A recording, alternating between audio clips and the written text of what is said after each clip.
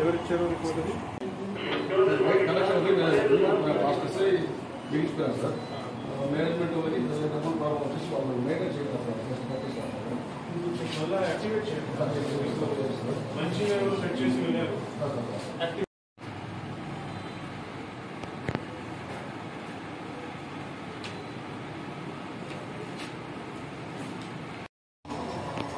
Head constable ASI ఎంతమంది ఉన్నారు ఇంకా ఏఎస్ ఉన్నాం సార్ ఏఎస్ ఫోటో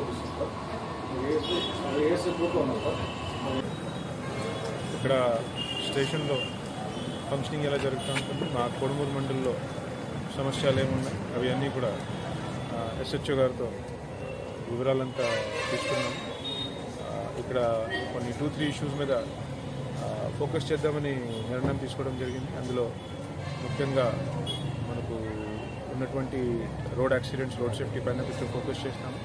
అలాగే చిన్న చిన్న గొడవలు తగదాలు అవుతూ ఉన్నాయి. దానివల్ల గొడవపడి కొట్లాడటం జరుగుతూ ఉంటుంది.